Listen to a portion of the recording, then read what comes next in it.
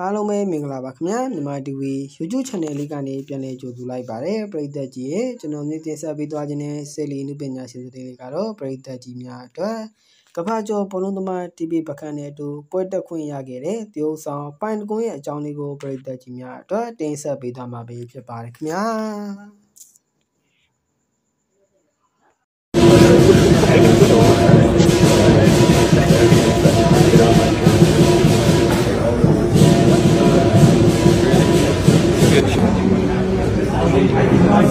Very nice.